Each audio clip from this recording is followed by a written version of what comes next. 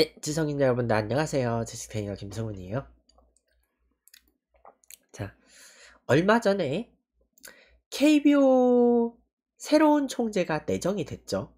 선출이 됐어요. 아직 임기는 시작 안 하는데, 그, 이제 KBO 역대 총재들하고 이번에 새로 또 선출된 정재택 신임 총재에 대해서 한번 좀 얘기를 해보는 시간을, 그래서 오늘 좀 뭔가 좀 편하게 얘기하는 시간이 될 거예요.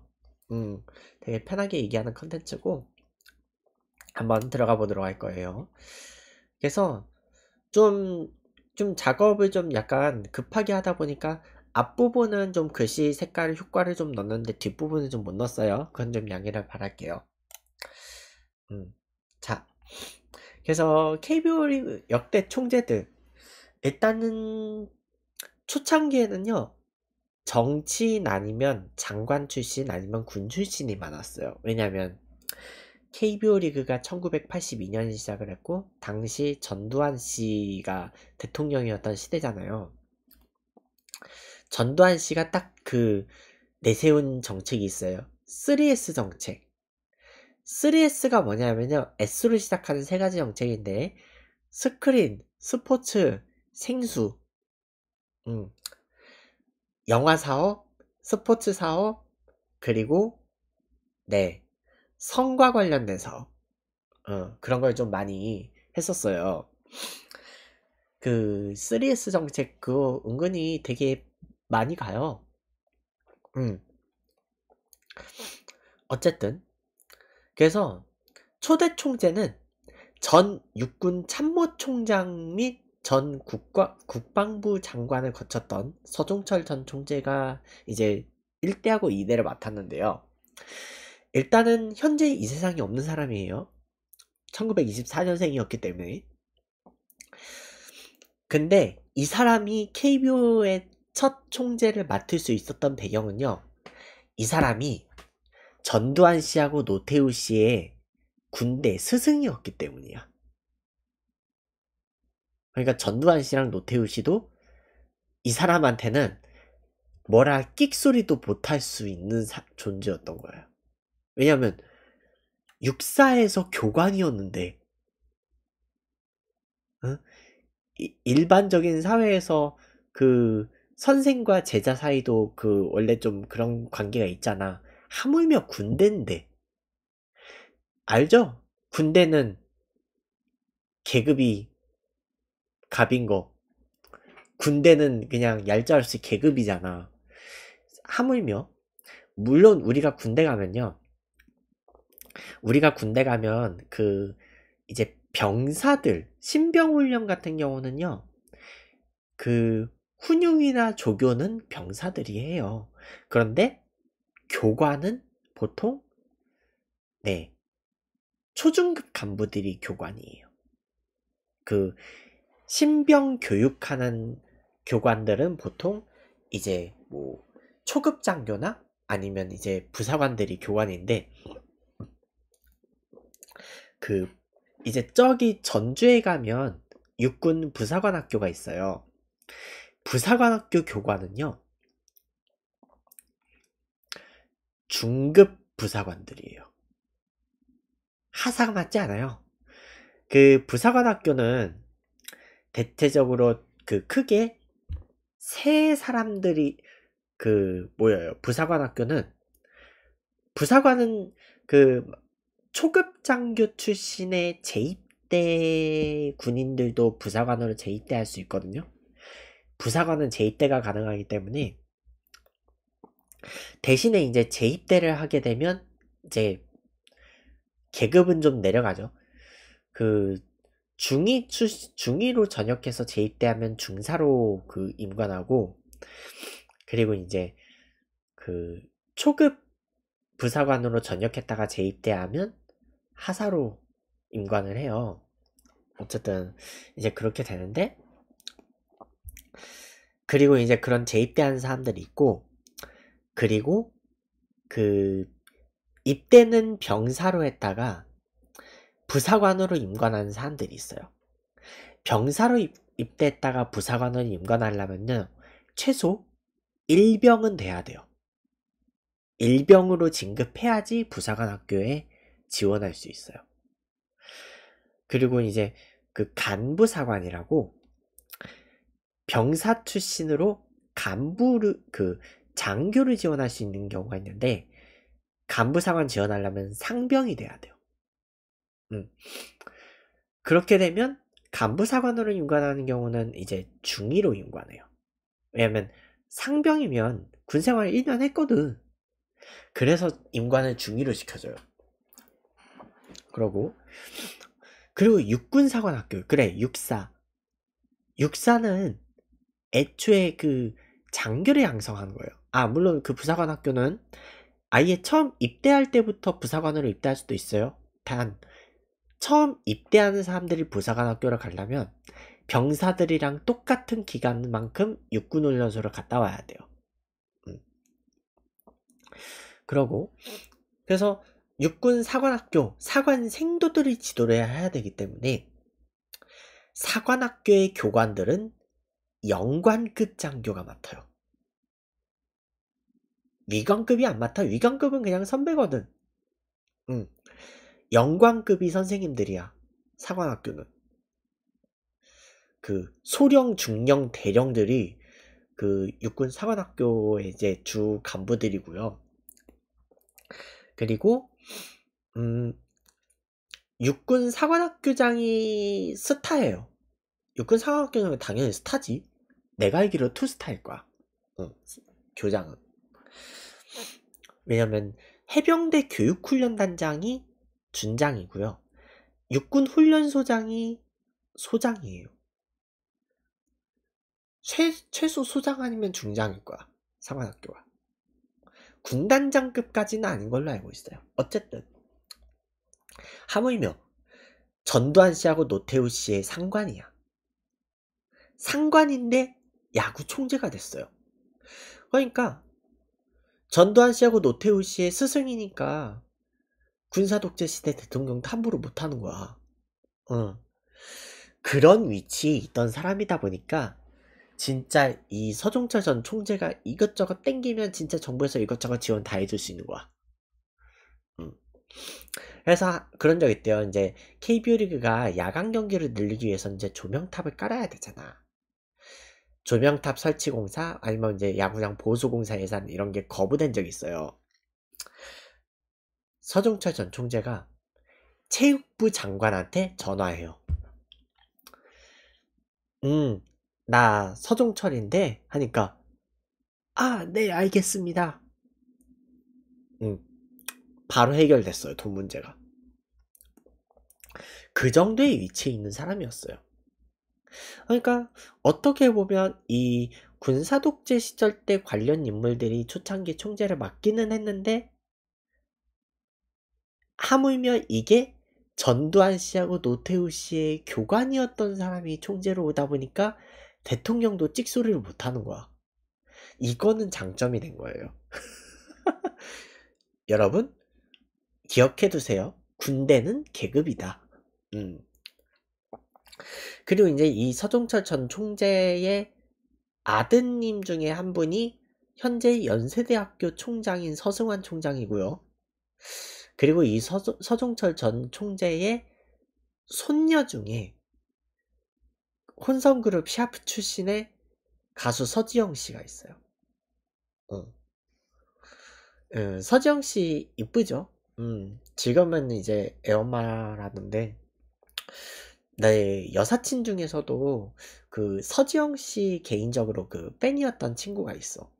음, 서지영 씨 팬이었던 친구가 있는데, 어, 근데 그 친구도 못 본 지 꽤 됐어. 요즘 그 친구도 연애하고 있어가지고. 아, 근데 나 솔직히 그 친구 보고 싶기는 해. 집에서 별로 안 먼 동네 살거든? 그래서 사실 뭐 사실 연락만 맞추면 뭐 만날 수는 있긴 한데 그래요. 어, 어쨌든 그래 서지영 씨 이쁘잖아요. 어 그러고요. 자, 그 다음에 이제 그 다음 총재를 맡았던 인물은 이웅희 씨였어요. 청와대 대변인 출신이고요. 문화공보부 장관 이력이 있어. 그리고 국회의원 3선 의원이고 역시 MBC 사장을 했던 적이 있어요. 문화방송 사장. 그 그래서 MBC 청룡 구단주였던 적이 있지만 사실 구단 운영을 그렇게 잘하지는 못했어. 음. 그리고 이 사람은 결국 1989년에 그 이제 본인이 그 리그 총재가 되고 나서 MBC 청룡은 럭키 금성 그룹의 매각을 해요. 그 구씨 집안의 매각에. 응. 그래가지고 LG그룹에 그 매각이 돼서 이때 이제 그 MBC 청룡이 LG 트윈스가 된 거예요. 근데 이제 이 이용희 씨는 총재로 있는 동안 이제 쌍방울 레이더스를 창단을 하죠. 어.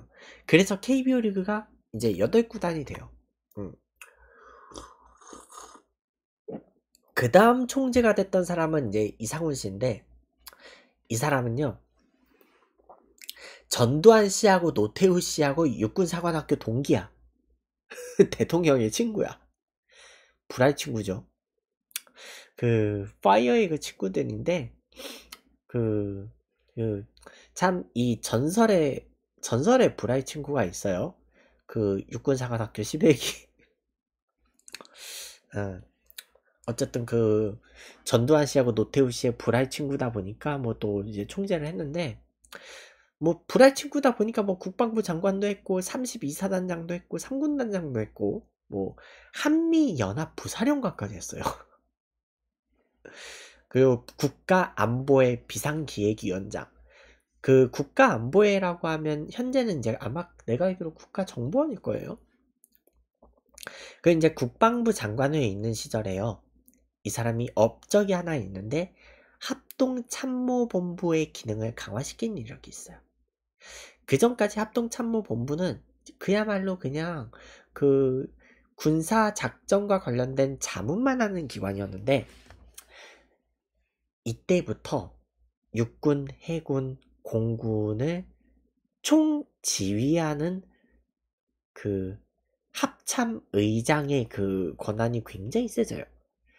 그래서 그 각 군의 참모총장이 버스 타잖아요.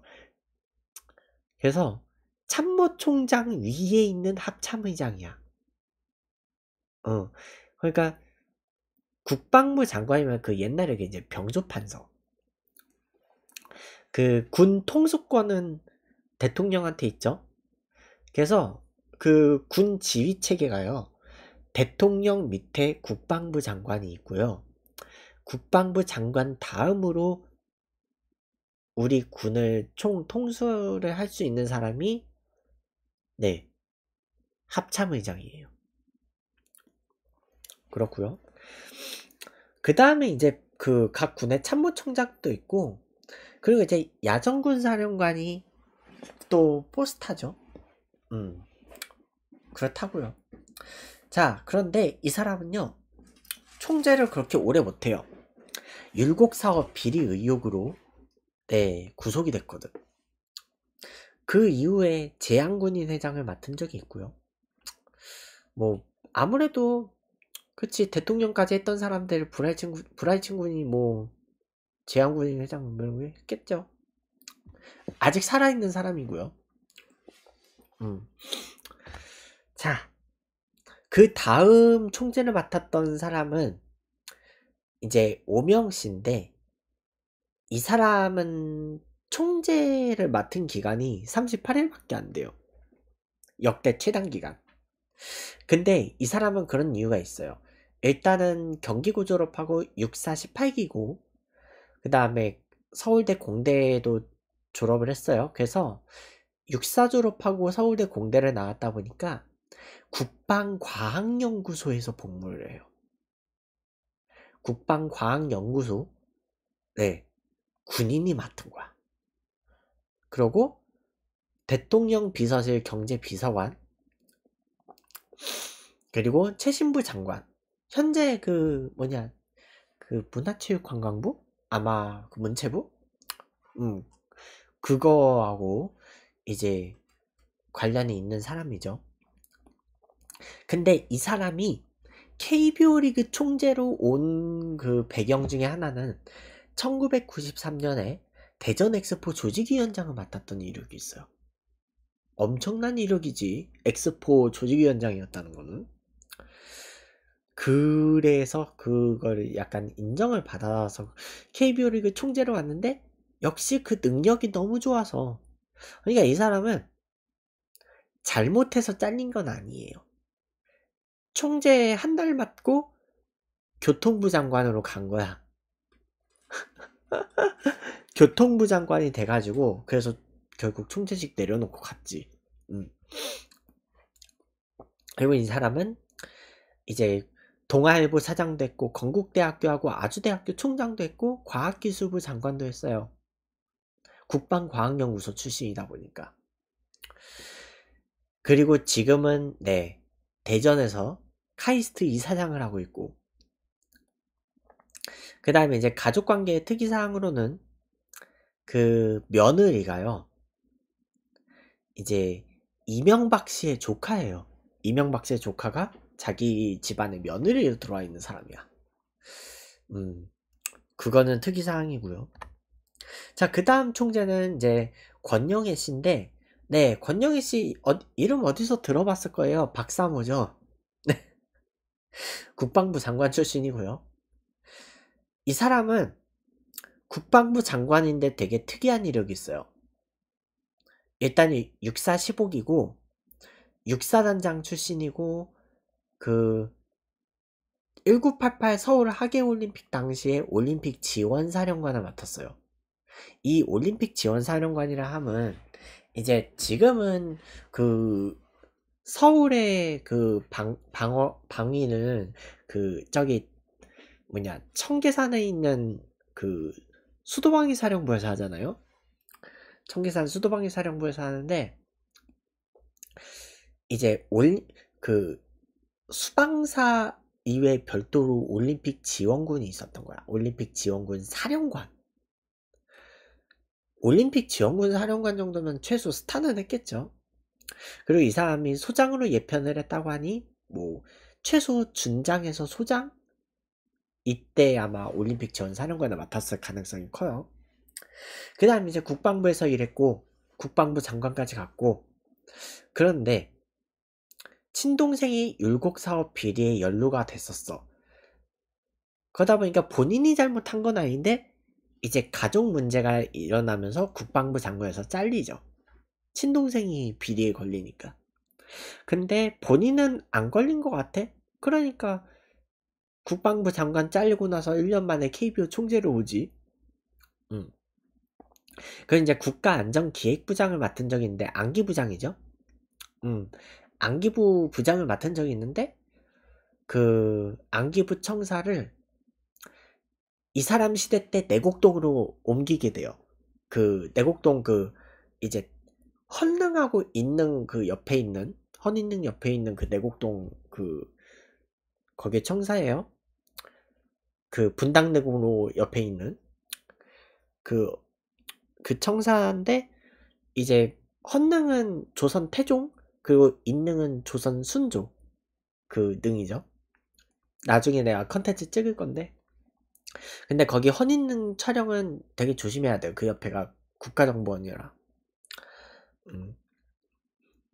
그리고 1998년 3월에 검찰 도사 검 그 검찰 조사 도중에 화장실에서 커트칼로 자해를 해서 좀 화제가 된 인물이고요. 그리고 이제 안기부법 선거법 위반 혐의 등으로 5년형을 살았던 사람이에요. 근데 이제 건강 문제와 관련해서 집행 정지 했다가 재수감 됐다가 또 특별 사면. 지금은 통일 건국회장을 하고 있다 해요. 그래서인지 모르겠는데 이 사람이 박사모야. 친애하는 국민 여러분, 지태TV를 구독 안 하시면 박사모인 걸로. 네, 박사모예요. 구독 안 하면 박사모. 자, 그 다음 총재는 아까 7대 총재는 박사모더니 8대 총재는 김기춘 씨. 네, 법무부 장관 출신이고요. 삼선 의원이고. 중앙정보부 출신. 이 사람도 네, 친박 계열이라는 거를 딱 알 수가 있죠. 그 박근혜 씨 시절에 박근혜 씨가 대통령으로 있던 시절에 청와대 비서실장을 했었어. 근데 이제 청와대 비서실장 하기 전에 KBO 리그 총재를 했는데 야구 얘기를 하고 사니까 그 이제 중앙정보부에 있을 때 맨날 그 도청당했었던 그 얘기를 도청당할 일도 없어서 평안하다 그랬던 사람이 왜 1년 만에 그만 야구를 그만뒀을까요? 근데 이 사람이 그래도 나름 스포츠를 좀 좋아하기는 했던 사람인 것 같아. 그 바둑을 좀 뒀나 봐요. 바둑이 실제로 그 바둑 기사 그 8급이 급수가 있었대요. 그래서 한국기원 부이사장까지 한 적이 있어. 그럼 이제 박근혜 최서원 게이트 관련으로 결국 김기춘 씨는 구속이 됐었죠. 구속 시점 당시에는 서울구치소 최고령 수감자였다. 네. 서울구치소 저기 그 안양에 있는 거기에요. 자, 그 다음.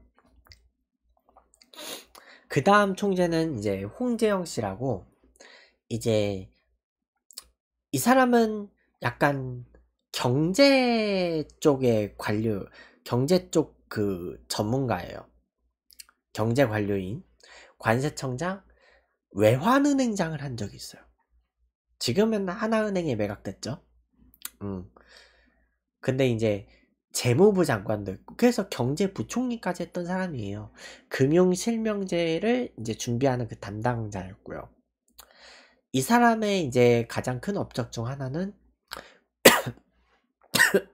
KBO 리그에 외국인 선수를 도입한 거죠. 그 이제 그 이후에 삼선 의원 했고 국회 부의장까지 한 사람이에요. 음. 외국인 선수를 도입, 제도를 도입한 사람이고 그 다음 총재 이제 정대철 씨. 근데 이 사람은 한 네 달밖에 못해요. 오선 의원이고요. 이제 언론 통 언론인 인권과 관련된 진상 규명 활동을 했었어요. 이 사람이. 음. 근데 이제 이 사람은 총재 취임 100일 만에 경성비리 사건에 걸려가지고 물론 이 사건과 관련해서 나중에 무죄 취지로 파기환송이 되기는 했어요. 음. 그 대법원에서 파기환송이 갔어. 대법원은 파기환송 그 뭐냐 아래 그 원심 유지하면 원심 유지 또는 파기환송이죠. 대법원에서는요 원심을 유지하지 않으면 대법원이 판결을 내리지 않아요. 그 고등법원으로 내려보내요. 이게 파기환송이에요. 음. 근데 이 사람은 그 경성비리 사건은 그래. 그 뭐냐 무죄라고는 해. 근데 굿모닝 시티 로비 사건으로 이제 정치자금법 위반 혐의가 걸려서 그걸 결국 다른 문제로 구속됐어. 그래서 이와 관련해서 5년형을 선고받았고 이제 그 정치인은 그 원래 뭐냐 현직 의원이었나? 이 당시? 어쨌든 그때 5년형을 선고를 받으면 네, 피선거권을 10년 동안 그 얻을 수가 없어요. 그 낙곰수 관련 인물이 인물 그 정봉주 씨인가? 그 사람이 그래서 낙곰수 때 그 구속당해 가지고 10년 동안 선거 못 나왔잖아. 그다음 허경영 씨도 10년 동안 선거 못 나왔고. 자, 그 다음에 이제 총재가 박용호 씨인데, 박용호 씨는 이제 총재, 그, 아까 정재철 씨가 이제 구속이 되면서 총재 대행을 시작을 했다가, 근데 이제 처음에는요, 그, 왜 총재 대행을 했다가 사임을 한 다음에 다시 정식으로 됐는지 이따가 얘기를 할게요. 이 사람은 그 박두병 전 두산그룹 회장의 둘째 아들이에요.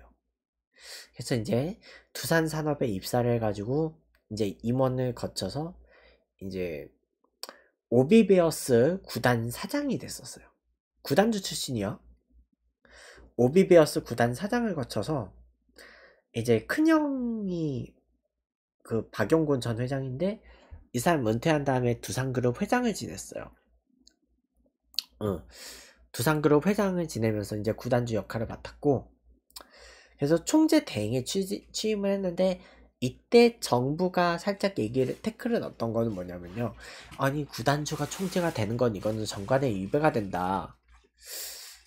KBO가 정부기관도 아닌데 어쨌든 그래서 사퇴를 요구한 거야.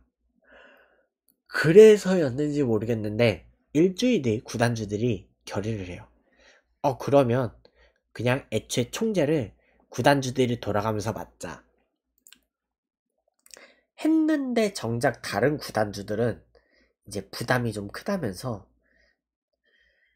그 총재를 안 맡으려고 한 거예요. 그래서 박용호 씨가 계속 한 거야. 응. 그러다 보니까 역대 최장 기간인 7년 동안 총재를 했었고요. 이 박용호 총재 시대 때 가장 큰 업적 중 하나는 그 전까지 이제 그 서영빈 서용빈 코치가 아마 그 군 관련 그 비리 있었던 거 알죠? 그래서인지 모르겠는데 미필 선수들이 국군 체육부대 상무 피닉스에 입대할 수 있게 허용해 준 사람이 바로 이 사람이에요. 지금은 없어졌는데 이제 그 뭐냐 아산무공화 그 뭐냐 그 경찰청도 야구단이 있었죠. 그 경찰청 야구단은 이제 의무경찰 제도가 의무경찰들 중에서 야구 그러니까 야구 선수들을 의무경찰로 받아서 복무할 수 있게 해주는 그 야구 경찰청이 있었어요. 근데 지금은 이제 의무경찰 제도가 이제 폐지가 될 거니까 그래서 뭐냐 그 김태군 선수 등을 마지막으로 그 경찰청 야구단이 이제 해체가 됐죠. 음. 그랬었는데 그러다가 이제 쌍방울 레이더스 매각 문제를 이제 SK 와이번스가 그 구단 직원하고 선수들을 그, 그 고용 승계를 할 수 있게 해줘가지고 그 매각 문제를 처리를 했고 해태 타이거즈 매각 문제는 현대자동차 그룹이 해태 타이거즈 인수해서 기아 타이거즈 만들 만들어줬죠. 음. 자, 근데 이제 이 사람이 이제 한국 프로야구 선수협회 선수협 결성할 때 선수협회를 비판했던 게 이때 좀 약간 논란이 됐었어요. 음. 그러고 그 다음에 어, 박용호 씨의 그 다음 그 KBO 리그 총재 잘 하고 있는데 두산그룹 회장 맡으면서 같이 하고 있었거든. 근데 이제 그 아빠의 유지가 있었어요. 형제들이 계속 쭉 나눠서 맡아라. 응? 형, 형, 이제 서로 물려주면서 회장해라. 했는데 경영권 분쟁이 일어난 거야. 그래서 경영권 분쟁 과정에서 이제 자기도 자기 그 챙길 거 챙겨야 되다 보니까 동생들의 비리를 폭로를 했는데 이게 오히려 역관광을 당해가지고 출국 금지 리스트에 올라버린 거예요. 그래서 결국 동생들한테 경영권 뺏기고 회장 자리도 뺏기고 그래서 회장 자리에서 몰라나면서 두산 베어스 구단주 사퇴하고 그리고 이제 그 경영권 문제로 신경을 쓸 틈이 없으니까 KBO 리그 총재도 사퇴하고 음. 그러다가 이제 그래도 이제 두산과 관련된 지분들 다 처리하고 돈이 좀 있을 거 아니야. 성지건설을 인수해서 거의 회장으로 취임을 해요. 그래서 이제 그 재기에 도전을 해가지고 막 이것저것 열심히 많이 투자를 하고 그랬는데요. 그래서 추진을 하고 싶었던 게 용산 재개발. 용산 재개발 그 뭐냐 지금 이제 용산역으로 그 신무당선이 아마 그 연장될 계획이 있고 이제 용산역에 또 이제 GTX 들어갈 계획도 있고 뭐뭐 뭐 이러저러 계획도 많잖아요. 근데 지금 그 용산역 앞에 한 블럭 되게 공터로 남아있는 거 알죠? 음. 그 자리에 이제 그 신분당선하고 GTX 용산 역사가 그 들어온다고 알고 있어요. 그렇게 되면 이제 그 1호선 용산역하고 4호선 신용산역도 그 환승 통로로 연결이 될 수가 있겠죠. 중간에 뭐냐 신분당선 타는 곳을 거쳐서 그러고요. 이제 그런 플랜이 있었는데 베이퍼웨어 베이, 베이퍼웨어 백지화가 돼 거의 지금 용산 재개발 사업 지금 완전히 제대로 되지도 못하고 있죠. 그래서 이제 성지건설이 부도가 난 거야. 거기에다가 이제 박중원 부사장이 주가 조작까지 해가지고 그 박중원 부사장이 실형 선고를 받아가지고 그런 가정 문제, 회사 문제, 각종 스트레스 시달려다가 안타깝게 결국 자살로 생을 마감을 했어요. 사실 이 박용호 씨 시대 때가 여태까지 그 여기 앞 페이지 보면 제일 오래 했거든. 그 제일 여태까지 KBO 리그 총재들 중에서 제일 잘했던 사람 중에 한 명이에요. 자, 그 다음 총재는 이제 신상우 씨. 노무현 전 대통령의 고등학교 선배고요. 그리고 이 사람은 고려대학교 추, 그 재학 중 때 4.19 혁명을 주도했던 인물들 중에 한 명이에요. 음.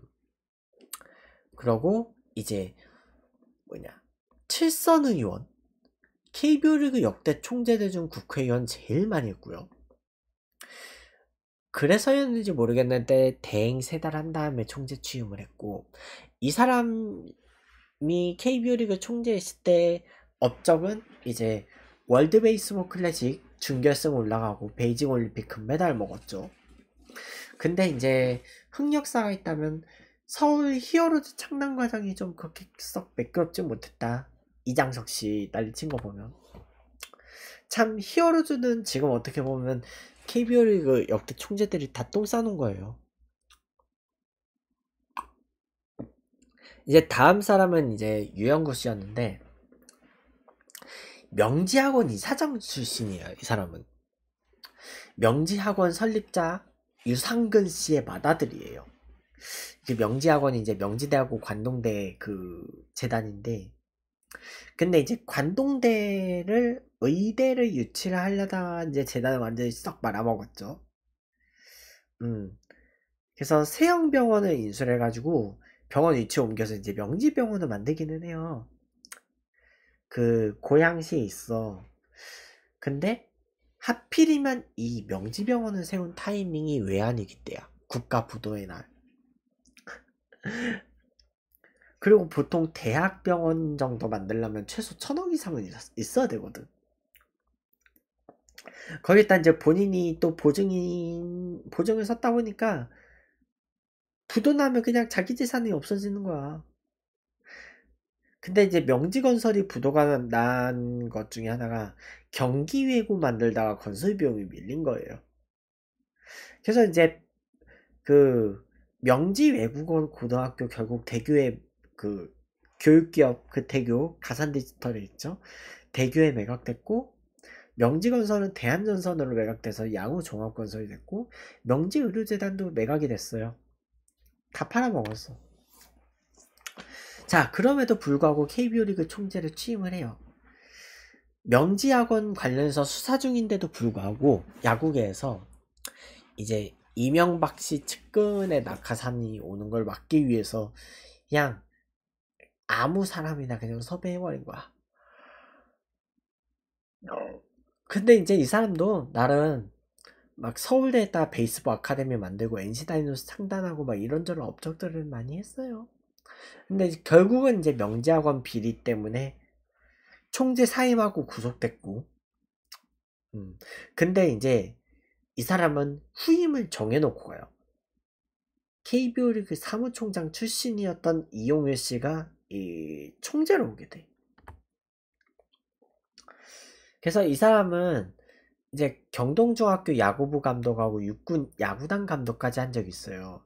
이제 1961년 아시안게임 국대 총감독, 1972년 미넨 올림픽 국가대표 총감독. 그 이제 그거 하고 와서는 이제 군산 지역의 그 야구 사업 많이 했고요. 학교를. 음. 그래서 초대 KBO 리그 사부 총장을 했었어. 쌍방울 레이더스 구단주 대행을 했고요. 음. 그 쌍방울 레이더스의 김성근 전 감독을 영입했던 사람이 바로 이, 이용일 씨라고 하더라고요. 그래서 쌍방울 레이더스가 매각된 이후로 해체된 이후로 전라북도 제19단 범도민 유, 치 추진위원장을 맡았는데 네, 19단은 결국 수원으로 갔죠. 대신에 전라북도는 KT 위즈 2군을 맡았었죠. 음. 익산에. 자, 자, 그 다음 총재, 이제, 뭐냐, 박용호 전 총재 다음으로 제일 잘했던 사람 중에 한 명이다 싶어요. 구본능 씨. LG그룹 전 회장인 구자경 전 회장이 둘째 아들이었고, 그 구본무 전 LG그룹 회장의 동생이에요. 그러다 보니까, 그, 형이 형이 LG그룹 회장이 되고 본인은 이제 따로 나가서 희성그룹 회장이 된 거야. 음. 근데 이제 그 구본무 전 회장이 하도 아들을 못 보다 보니까 50대가 돼서 늦둥이까지 봤다 그래요. 얼마나 그 아들, 아들 욕심이 있었으면 진짜 50대가 되도록 그렇게 애를 만들었을까 싶기도 하고요. 근데 이제 그 뭐냐 LG에는 이 전통이 있어요. 그 그룹 회장 승계는 맏아들이 해야 된다. 이런 승계가 있었는데 문제는 구본무 전 회장한테 아들이 없고 그래서 이제 구본능 전 총재가 이제 아들을 구본무 전 회장한테 양아들로 보내요. 그래서 회장직 승계 전통이 필요하기 때문에 그래서 현재 LG그룹 회장이 된 사람이 네 구광모 회장이에요. 그리고 이제 경남중학교 야구부도 했었다 그래요. 음. 그리고 이제 구본능 총재 시절 때 KT즈가 창단을 했고, 근데 이제 그 아무래도 본인 그 리그 회비 이런 거 엄청나게 돈 받을 수 있음에도 불구하고 이제 구본능 씨는 어차피 희성그룹 회장이다 보니까 본인이 무보수 일, 일하겠다 한 거야. 뭐 그렇다고 하고요. 자, 그 다음 이제 현 총재죠. 정은찬 총재. 그 전 서울특별시장이었던 조순 씨의 제자고 이 사람도 야구부 출신이고요. 음, 서울대학교 총장 이력 그리고 국무총리 이력이 있고 특이사항으로 김현수 선수 결혼식을 주례를 맡은 적이 있어요. 음. 근데 이 사람은 리그 표준화하고 전혀 반대되는 길을 걸었고 결국 팬들이 등을 돌려가지고 올해 관중도 감소를 했죠. 근데 사실 올해 관중이 감소되는 건 사실 코로나19 때문도 있어요. 자, 그러면 이제 새로운 사람을 한번 알아봐야죠. 정지택 신임 총재. 1950년 3월 21일생 서울에서 태어났고 아버님이 정운갑 전 국회의원이에요. 오선 의원이고 그 정운갑 전 의원은 김영삼 전 대통령이 이제 그 직무정지 기간을 다한 적 있었잖아요. 1979년에. 그러다 보니까 이 당시에 직무대행을 맡은 거야. 그렇다고 하고. 그 다음에 이제 형제관계 5남 중에 3남인데 형인 정성택 씨는 인하대학교 교수고 정승택 씨는 개인 사업하고 있고 이제 동생 정우택 씨는 네 사선 의원의 충청북도 지사 까지 했던 사람. 그러니까 이게 이 사람이 이제 그 택자 돌림인데 이 사람의 집안이 다 경기고 나온 거야. 음.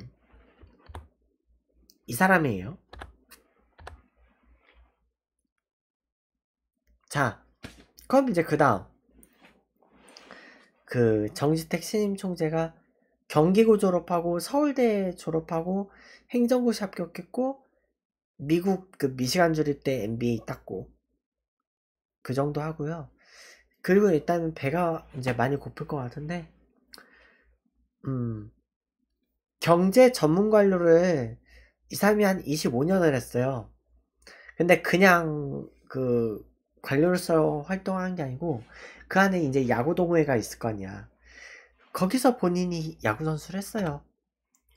그 다음에 이제 중앙정금 부회장을 거쳐서 이제 두산그룹의 IT 부문 총괄 사장으로 왔고 그 다음에 이제 두산건설 대표를 거쳐서 두산중공업 부회장을 했고 그래서 이제 현재는 두산베어스 구단주 대행인데 이제 아마 그